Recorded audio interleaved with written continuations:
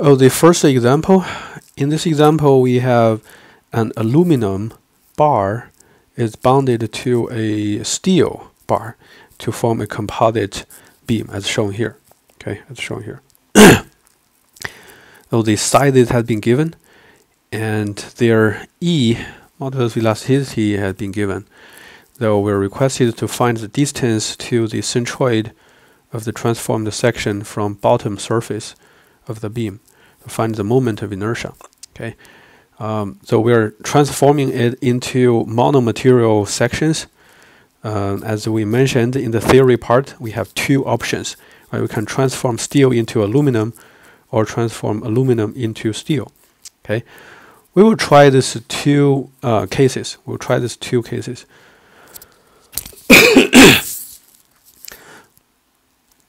okay, in the first case, we will we will transform steel into aluminum.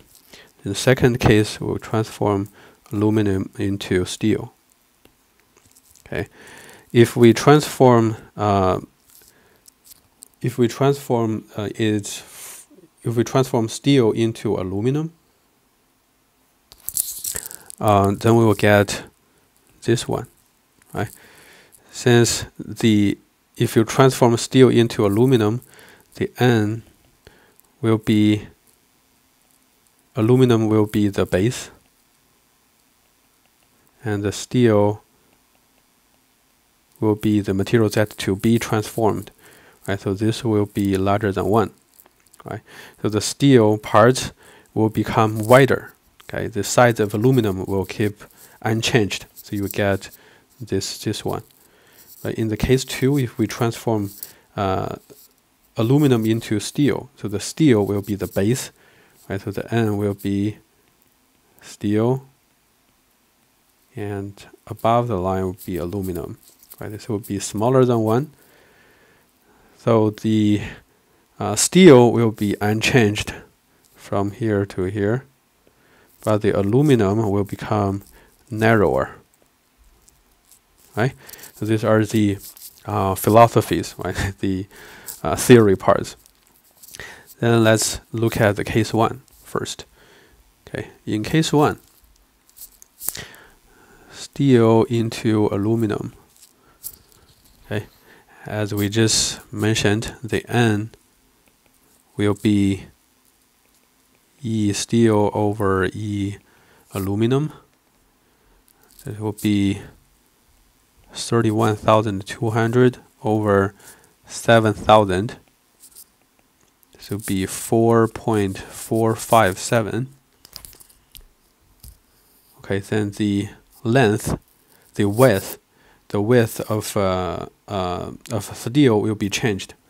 Right, so the length, the, the, the width of steel when it's transformed into aluminum will become n times b. So it will be 4.457 times 1.5 here. Then it will become 6.96 inch here. Okay, so after that, we just get this T-shaped section. Then we can uh, just use our two equations and two tables to find out the y bar and i. Right. So first of all, y bar equals aiyi over sum ai. Right, the table and we have just two sub areas, one and two. Right, let's see, this is one, this is two. Right, then cut it in the middle, divide it into two sub areas. Then the AI,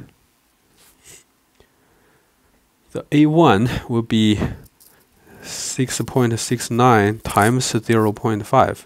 Right, the height will not be changed. Right, we only change the width of the different sections. Right? So this will be 3.345 and A2 will be 1.5 times 0 0.5, 0 0.75. right? and the yi yi so y1 will be what y1 will be from the bottom to here this is the local centroid right this will be 0 0.5 plus 0 0.5 over 2 right? 0 0.75 and y2 to the local centroid will be just 0 0.25 right. So ai yi can be easily calculated. Here you get uh, 2.51 and here you have 0 0.19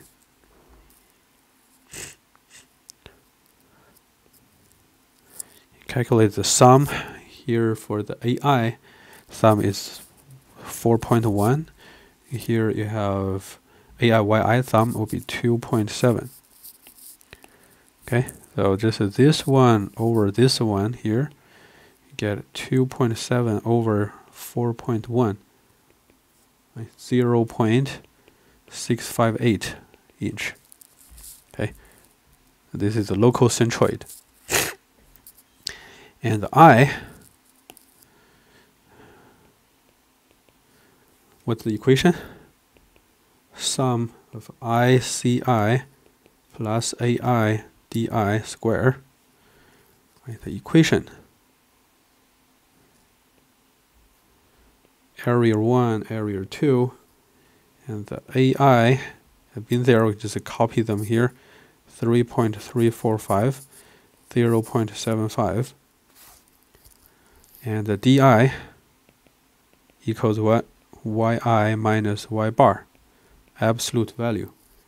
Right so for the d d1 will be uh, 0 0.575 minus 0 0.658 right so that is 0 0.092 and the d2 would be 0 0.25 minus 0 0.658 uh, absolute value. It will be 0 0.408. And ICI equals what? Equals just a BH cube over 12. And for area 1, that will be B will be 6.69 times 0.5 cube over 12. Right? That is 0.07 for the second area the aluminum part the the original aluminum part uh, as subsection 2 will be 1.5 times 0.5 cube over 12 that is 0 0.0156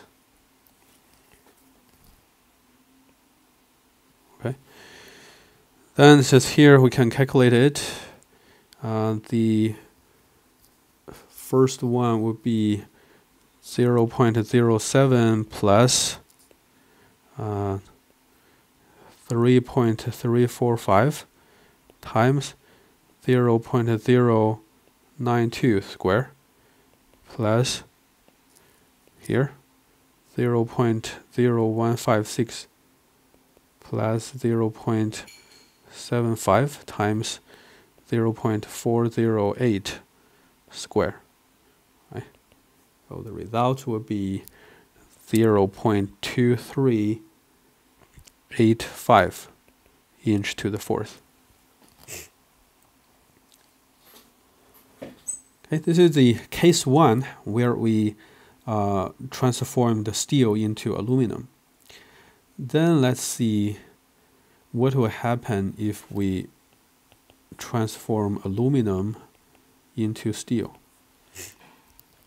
Okay, of course, in this case, the uh, steel part will not be changed, but the aluminum width will become smaller, right? Since the steel has a much larger modulus of elasticity than aluminum. Right? But in this case, when we calculate n, when we calculate n, the base will be steel. Right, so E steel above it will be E aluminum. So it will be 7,000 over 31,200. This n value will be smaller than 1. That would be 0 0.224. And the width, uh, aluminum into steel, so will be reduced from 1.5, uh, right? So this will become 0 0.224 times 1.5, you get 0 0.337 inch. You can see that from 0 point, from 1.5 to a narrower size, 0 0.337. Okay, so this is how we transform the section uh, from aluminum to steel and make it a monomaterial steel T-shaped cross section. Okay, then the rest will be uh, we will we will repeat the process. Uh, so the y bar calculate y bar. Y bar is again sum ai yi over some ai. And from the table, you have area 1, area 2, ai, yi, ai, yi.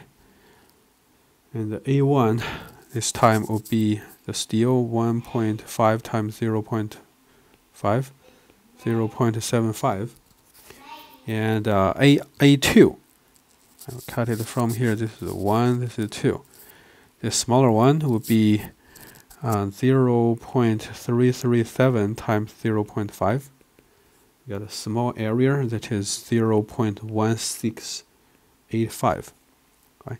the yi yi will be the same as um, case 1 right? 0 0.75 and 0 0.25 the products AIYI can be calculated easily 0 0.5625 and uh, 0 0.0421. Okay, then we can sum them. The sum of AI would be 0 0.9185 and AIYI sum will be 0 0.6046. Okay, and here we got these two numbers. 0.6046 over 0.9185 we get 0.658 inch. Okay, you can see that the y bar is the same as here. Okay, the y bar will be the same, meaning that no matter how you transform the section, the location of the uh, centroid from the bottom or from the top will not be changed. Okay, then the I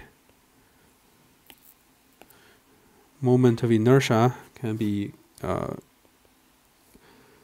calculated using this equation ICI plus AIDI square. Okay. Table 1, 2 and AI can be copied. Di okay? Di is yi minus y bar. And the d1 will be 0 0.092 and the second one would be 0 uh, 0.0408 the same, exactly the same, right? Then the ICI for the first one it will be 0 0.0156, second one 0 0.00351. Okay, you can just uh, check my results. Okay, do your own calculation and check my result. Okay, so after that we can uh, calculate both of them. You can also do your own calculations. So the first one would be uh, 0 0.0219 plus 0.00351. Okay.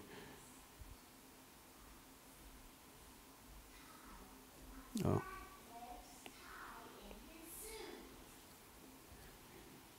Here is 0. Point, um, 0316. So the result will be 0 0.0535 inch to the fourth. Okay, you can see that the I values is different. Okay, I values is different from that of uh, the case one because we have been transforming them into different materials, into steel, uh, into into aluminum. So you get a larger area, right? Much larger area. So the I value is much larger. Right? When you transform it into steel, the area cross section area is smaller. So the I value is smaller. Okay, so we have uh, tried these two different cases, but this transformation is not the purpose. Right? Our purpose is to evaluate, to calculate the stresses in the bended beams. Right? So let's give a let's give a bending moment Okay, give a bending moment if we know that um, if we know that the uh, m give a m that is 88.8 kips feet. So let's calculate the uh, stress on top and the stress on bottom. Okay, this is extra question. So given a bending moment, let's calculate the stresses on top and on bottom. Okay. Let's see what will happen. Okay, if uh, we consider the case one. Okay, in case one, aluminum. Okay, this we transformed everything into aluminum. This is the case one. Okay, in case one, the stress on top would be what? Would be m times y or times c top. Okay, times c top over i. Okay, so this is 88.8 kips feet, so we will transform it into uh, pounds inch, okay, times what? 12,000. Right. Okay, make sure you understand this. Okay, what is this? Okay, then times the C top. C top will be the Y bar has been determined, right? The Y bar equals 0. 658 inch. Okay, so uh, the distance C top equals 1 minus 0 0.658. Okay. Over the I, I we have determined that is 0 0.2385. Uh, inch to the fourth.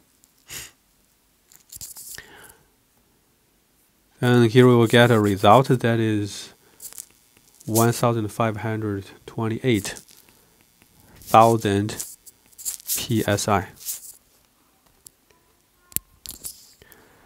And we can also calculate uh, the bottom.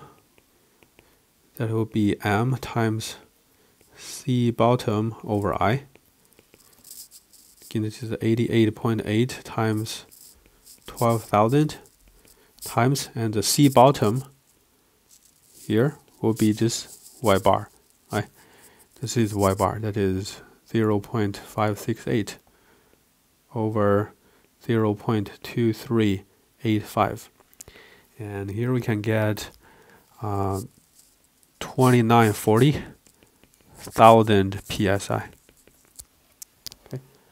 are these the final results? Are these the final results? Since the, the top is a fictitious section, right? The top is a fictitious section. The top should be steel, but we have transformed steel into aluminum. So we need to change it back. We need to convert it back to steel, right?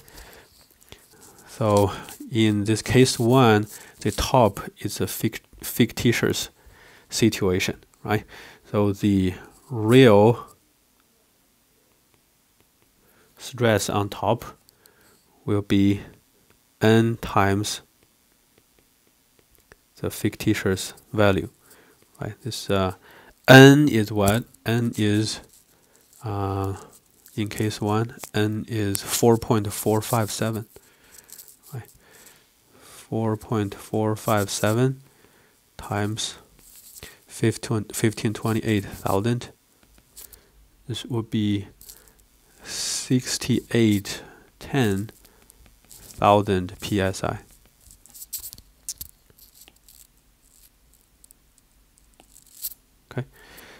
Then let's check case 2.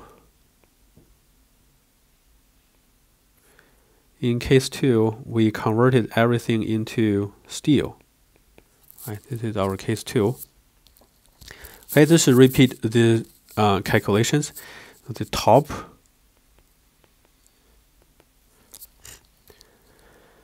on top that will be uh, m times c top over i. The in this case the, the the c values will not be changed; it will be the same, right? So this will be uh, 88.8 times 12,000 times 1 minus 0 0.658 over the i is 0 0.0535.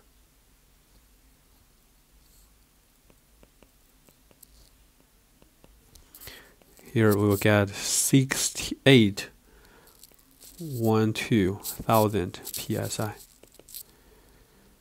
And on the bottom, it will be m times c bottom over i.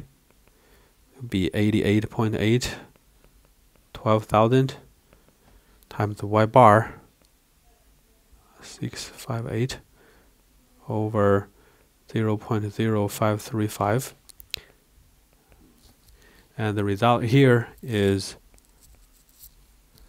13,106,000 psi okay?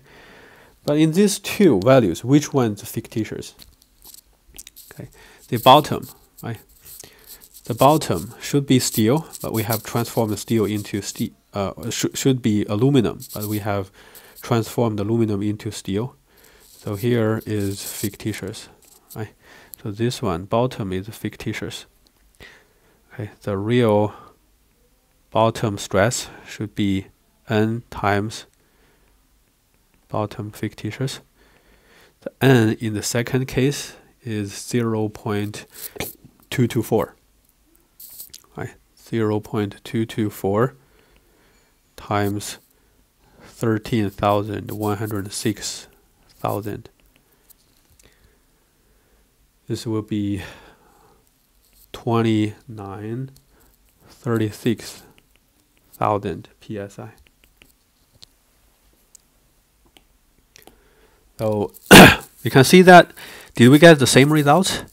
Okay, from case one, from case one, our uh, the final results top on top of it is 6810 and in case 2 6812 okay? This is the same result right? Because we have we had some errors during the calculation right? And uh, for the bottom 2940 2936 okay? Again this is the same Okay. If you didn't get the same result, meaning you have made some mistake or larger error in calculations.